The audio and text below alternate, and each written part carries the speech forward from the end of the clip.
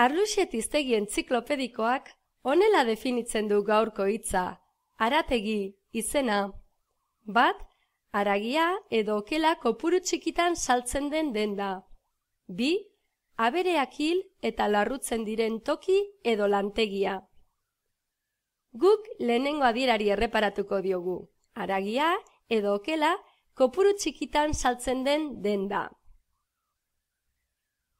Uzeiren sinonimoen iztegian begiratuta, ondorengo sinonimoak topatu ditugu arategi hitzarentzat. Arakindegi eta buxeria.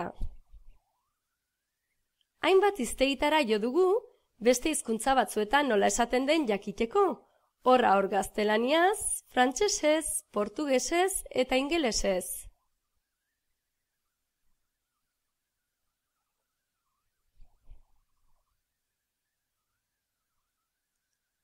Sonia Gonzalezen Ugerra eta Kedarra novelatik, pasarte bat hartu dugu gaurko hitza testu inguruan kokatzeko.